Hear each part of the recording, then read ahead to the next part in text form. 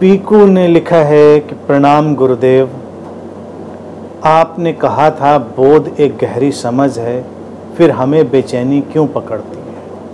सच को देख पाते हैं जैसे एक पर्दे के पीछे से। वो पर्दा क्या है? और अपने जीवन से पर्दा कैसे हटता है? पर्दे में रहने दो। पर्दा ना उठाओ। है पर्दा? तो पर्दे से कोई परेशानी नहीं है। बोध एक गहरी समझ है, वो तो है ही है ना। उसमें तो कोई कंफ्यूजन है नहीं, वो बात तो समझ ली तुमने। और वही बात फिर तुमने पूछी कि बेचैनी क्यों पकड़ती है? बेचैनी शुभ है। बेचैनी जीवन है।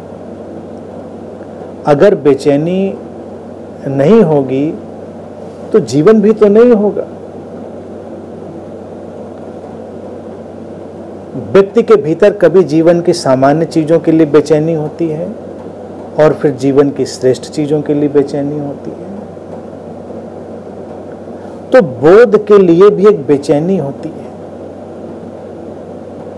उस बेचैनी पर ही तो ये सब यात्रा, ये सब कार्य, व्यापार होता है। उसलिए वो तो बिल्कुल ठीक है। बेचैनी क्यों पकड़ती? पकड़ती है, अच्छी है ना। बेचैनी ना पकड़ने का मतलब इंसान मुर्दा हो गया डेड हो गया। कुछ पकड़ता ही नहीं उसको। बिल्कुल। मुर्दे जैसा हो गया। ज़िंदा लोगों को तमाम चीज़ें पकड़ती हैं। उनमें से एक बेचैनी भी है। सामने चीज़ें दिखती हैं। पर्दे के पीछे से, अब तुमने कहा पर्दे के पीछे से तो ये तो बहुत बड़ी बात है ना, ये तो बहुत बड़ा मुकाम है कि पर्दे के पीछे से भी तो कुछ दिख रहा है, तुमको इतना तो दिख रहा है कि पर्दे के पीछे कुछ है।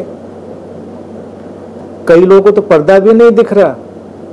उनकी बेचैनी तुम समझो। उनकी बेचैनी समझो कि जिनको भी पर्दा भी नहीं दिख रहा, तुमको तो पर्दा भी दिखने लगा है। कितना बड़ा सफ़र हो गया। पर्दा दिख रहा है, इसका मतलब घर के गेट के अंदर आ गए और अब उस जगह भी तुम आ गए जहाँ पर पर्दा है। अगर कल्पना करो एक घर की तो। पर्दे के पीछे क्या है? किसी का प्रियतम होता है, किसी का कुछ होता है। यहाँ पर तुम बोध की बात कर रहे हो।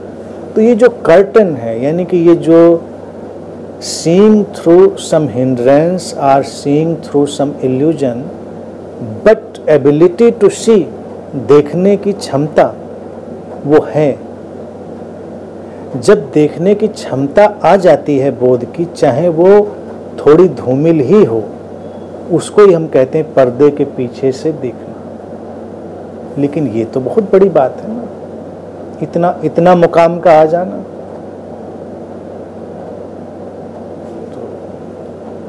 इस बात पर तो तुमको पार्टी करनी चाहिए, कि तुमको पर्दा दिख गया है। दैट्स ग्रेट और फिर तो पर्दा कब हटेगा, कोई नहीं जानता।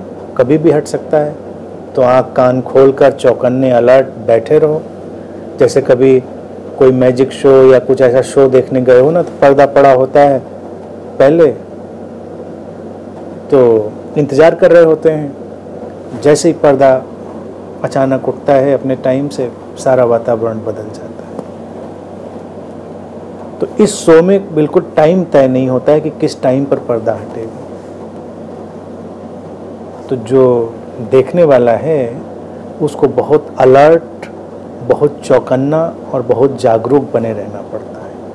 तो अब के तुम्हारे इस मुकाम पर अस्तित्व और जीवन तुमसे ये मांग करता है पीकू बाबू कि बिल्कुल चौकन्ने बने रहो।